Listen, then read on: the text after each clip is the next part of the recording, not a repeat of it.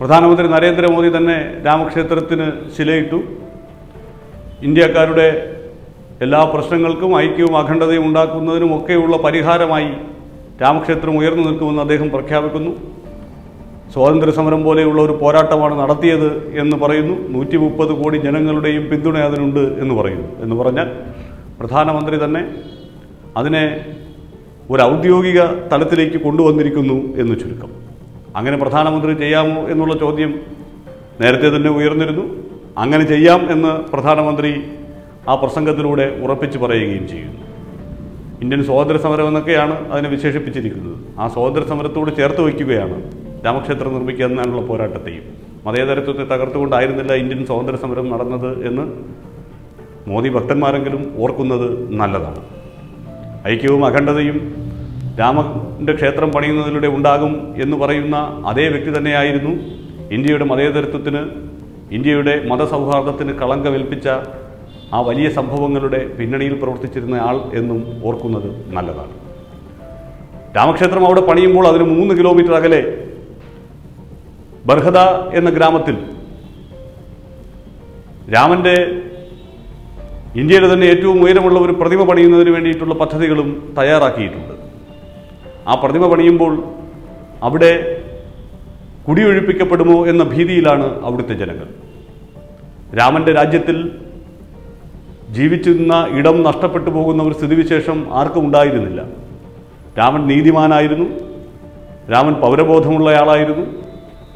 രാമൻ വലിയ മൂല്യങ്ങളെ ഉയർത്തിപ്പിടിച്ച ആളായിരുന്നു അതേ രാമന്റെ പ്രതിമ നിർമ്മിക്കാൻ ബർഹദ ഗ്രാമത്തിലെ ആളുകൾ കുടിയൊഴിപ്പിക്കപ്പെടും എന്നുള്ള ഭീതിയിൽ അവർ തെരുവിലേക്ക് ഇറങ്ങേണ്ടി വരുമ്പോൾ അവർക്ക് പിന്തുണ അർപ്പിച്ച ഇന്ത്യയുടെ ബാഡ്മിന്റൺ താരം ജ്വാലാകുട്ടി അടക്കമുള്ള ആളുകൾക്ക് തെറിയ അഭിഷേകമാണ്. മര്യാദാ പുരുഷൻ രാമന്റെ ശിഷ്യന്മാരാണ്. രാമമന്ത്രം മുഴക്കുന്ന അതേ നാവ് കൊണ്ട് തന്നെ ജ്വാലാകുട്ടയെ പോലെയുള്ള ആളുകൾക്ക് ആ ഗ്രാമീണർക്ക് പിന്തുണ പ്രഖ്യാപിച്ചു എന്നുള്ളതിന്റെ പേരിൽ തെറിയ അഭിഷേകവും നടത്തുന്ന സംസ്കാര സമ്പന്നരാണ്. അവിടെയാണ് പ്രശ്നം. വല്ലാത്ത അസഹിഷ്ണുതയാണ്. ഞങ്ങൾ നേടിയെടുത്തിരിക്കുന്നു എന്നുള്ള അഹങ്കാരത്തിന്റെ അടയാളങ്ങളാണ് അവരുടെ ഭാഗത്തു നിന്നുണ്ടാകുന്നത്. ജ്വാലാകുട്ട തന്റെ ട്വിറ്റർ അക്കൗണ്ടിൽ ആ പ്രതിഷേധം നടത്തുന്ന ആളുകൾക്ക് അവരുടെ വീടും കുടിയും നഷ്ടപ്പെട്ടു പോകും എന്ന അവസ്ഥയിൽ നിൽക്കുന്നവർക്ക് പിന്തുണ അർപ്പിച്ചുകൊണ്ട് രംഗത്തെത്തുമ്പോൾ എന്തിനാണ് ഈ അസഹിഷ്ണുത?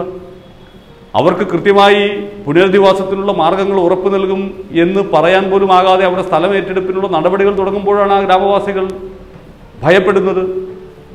നേരത്തെ ബുള്ളറ്റ് ട്രെയിൻ പദ്ധതിക്ക് വേണ്ടിയും ചെയ്തത് തന്നെയായിരുന്നു. അമേരിക്കൻ പ്രസിഡന്റിന്റെ വരവിന് വേണ്ടി ഗുജറാത്തിൽ ചെയ്തതും ഇതൊക്കെ തന്നെയായിരുന്നു. അവിടെ ജീവിക്കുന്ന പാവപ്പെട്ട മനുഷ്യരെ കണ്ടില്ല എന്ന് നടിക്കുന്നു. എന്നിട്ട് മോദി എന്താ വലിയ വായിൽ പ്രസംഗിക്കുന്നത്? ഇവിടുത്തെ പാവപ്പെട്ടവന്റെ പട്ടിണി കിടക്കുന്നവന്റെ ഒക്കെ ആശയും അഭിലാഷവും ഈ ശിലാന്യാസത്തിലൂടെ നിറവേറ്റപ്പെടുന്നു എന്നുള്ളതാണ്. എന്തൊരു വിഡ്ഢിത്തമാണിത്. നമ്മുടെ ജനങ്ങളുടെ ഉള്ളിലേക്ക്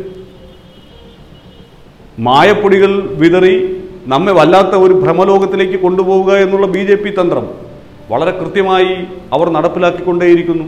അതിന്റെ തുടർച്ചയാണ് ആ വികാരം ഉയർത്തിപ്പിടിക്കുകയാണ്. സാധാരണക്കാരായ ഈ നമ്മുടെ നാട്ടിലുള്ള സംഘപരിവാറുകാരോട് സംസാരിക്കുമ്പോൾ അത് ബോധ്യമാണ്.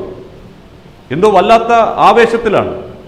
അതുകൊണ്ടാണ് അവിടെ കോവിഡ് പ്രോട്ടോകോളൊക്കെ പാലിച്ചുകൊണ്ട് കാര്യങ്ങൾ നടക്കുന്നു. പ്രധാനമന്ത്രി വന്നത് ശരിയോ തെറ്റോ എന്നുള്ളത് അവിടെ നിൽക്കട്ടെ. എന്തായാലും അവിടെ ചടങ്ങുകൾ നടന്നത് ഈ പ്രോട്ടോകോളുകളൊക്കെ പാലിച്ചുകൊണ്ട് തന്നെയാണ്. സാമൂഹ്യ അകലമൊക്കെ പാലിച്ചുകൊണ്ട് തന്നെയാണ്. പക്ഷെ അത് കഴിഞ്ഞതിന് ശേഷം നമ്മുടെ നാട്ടിലൊക്കെ ഈ മോദി ഭക്തന്മാർ നടത്തിയ ആക്രാന്തം കാണുമ്പോഴാണ് എത്ര ദുരന്തങ്ങളാണ് ഇവരെന്ന് നമുക്ക് ബോധ്യപ്പെടുന്നത്. നേരത്തെ ജോലാകുട്ടയെ തെറി വിളിക്കുന്ന അതേ ആളുകൾ തന്നെയാണ് ഇവർ. അതേ ആളുകളുടെ ജനുസിൽപ്പെട്ടവർ തന്നെയാണ്. പോലീസുകാരോടൊക്കെ മേക്കിട്ട് കയറുന്ന ദൃശ്യങ്ങളൊക്കെ നമ്മൾ കാണുന്നു. ദീപം കൊളുത്തിയേ പോവുകയുള്ളൂ റോഡിൽ വന്ന് ദീപം കൊളുത്തിയാലേ പറ്റൂ ഈ കൊറോണ കാലത്ത് എന്നുള്ള വാശി ആർക്കാണ്? അവിടെയാണ് പ്രശ്നം. രാമരാജ്യം ഇതാ വരുന്നു എന്ന് നിങ്ങൾ ആഹ്വാനം ചെയ്യുമ്പോൾ രാമരാജ്യത്തിലെ നിങ്ങളുടെ പ്രജകൾ എന്തായാലും മതേതരത്വം ആഗ്രഹിക്കുന്ന ആളുകളൊന്നും നിങ്ങൾ വിഭാവനം ചെയ്യുന്ന രാമരാജ്യത്തിന്റെ ഭാഗമാകാൻ ആഗ്രഹിക്കുന്നുണ്ടാകില്ല തന്നെ. ആ രാമരാജ്യം നിങ്ങൾ സങ്കല്പിക്കുന്ന നിങ്ങൾ ഉണ്ടാക്കിയെടുക്കുന്ന ആ രാമരാജ്യം നിങ്ങളുടേതായി നിങ്ങൾ സൃഷ്ടിച്ചെടുക്കാൻ ശ്രമം നടത്തിക്കൊണ്ടിരിക്കുന്നുണ്ട്. അപ്പോൾ അവിടെ നരേന്ദ്രമോദിയുടെ പ്രജകൾ സ്വാഭാവികമായി തന്നെ ആ രാമരാജ്യത്തിലെ ഈ പറയുന്ന ഇപ്പോൾ നരേന്ദ്രമോദി ഭരിക്കുന്ന ഇന്ത്യയുടെ കാര്യമല്ല. ഇത് പറയുമ്പോൾ അല്ലെങ്കിൽ പറയും എന്നാൽ പിന്നെ പാകിസ്ഥാനിൽ പൊക്കോളാൻ പറയും.